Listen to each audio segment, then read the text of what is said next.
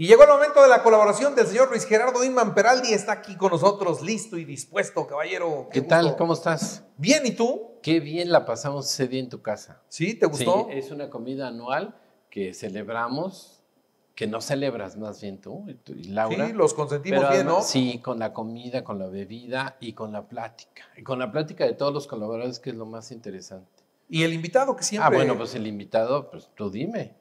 Estuvo pues, de lo mejor. ¿no? ¿no? Muy bien, sí, muy, con mucha apertura, eso me gustó, me cayó muy bien.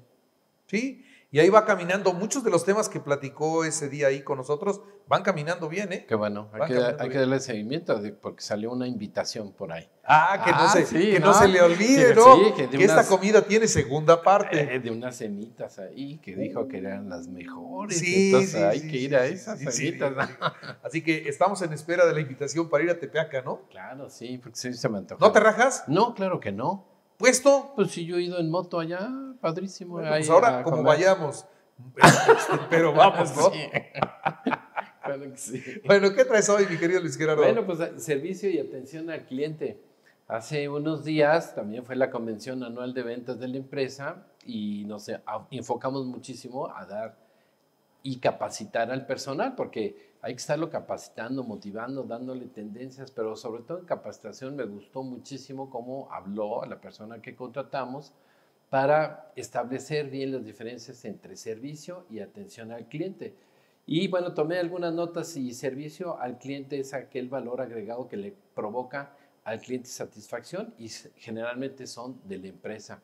Un ejemplo clásico es cuando vas a una peluquería y te dan te ofrecen algo de tomar, ¿no? es y quiere una cerveza, un refresco, agua, ¿no? Así es, esa es parte ya de la empresa, de lo que tiene que ser y generalmente ahí también tiene que la persona que da pues tiene que tener mucha apertura porque debe saber del tema, debe tener información, porque le pueden preguntar acerca de garantías y le pueden preguntar acerca pues de cumplimientos de lo que se ofreció. Y aquí hay un dicho que dice, nunca me comprometo a lo que no pueda cumplir y siempre me comprometo a algo. Lo cumplo en tiempo y forma. Y en atención al cliente es cuando el usuario hace contacto con la empresa para una situación específica, una garantía, una reparación y a veces ya está muy crítica. Esa, esa situación ya tienes el cliente ya muy, pues muy exasperado y, y, hay tres puntos claves que tiene que dar él la atención al cliente. Es calidez, asesoría y rapidez.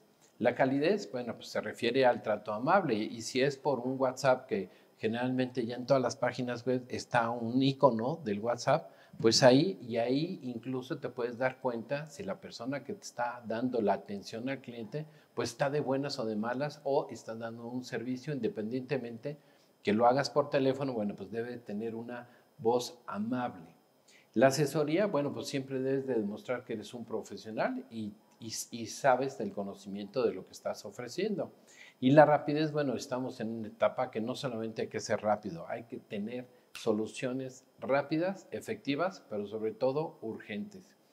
Y pues si bien es cierto aquel dicho que dice, no tenemos la, la culpa de la cara que tenemos, pero sí de la que ponemos. Entonces, bueno, pues mi querido empresario, empresaria, necesitamos tener en cuenta que el servicio al cliente se traduce en ventas, pero en un porcentaje elevado de ventas. Si no tienes un servicio ya sea porque estás iniciando, porque no tienes la infraestructura necesaria para separar a unas personas, tenerlas en servicio al cliente y otros como atención al cliente, bueno, pues tú debes de ser cálido, tienes que dar asesoría y sobre todo debes de dar solución inmediata a los problemas y no prometas lo que no puedas cumplir.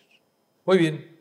Pues señor Inman, ahí están los consejos prácticos, prácticos efectivos y rápidos no hay pretextos, así seas chico o grande, no puedes dejar de dar atención, porque el cliente se te va de tal manera que te cambia en menos de un minuto. Si no le contestas, si no haces que retener al cliente, te cambia por otro de volada.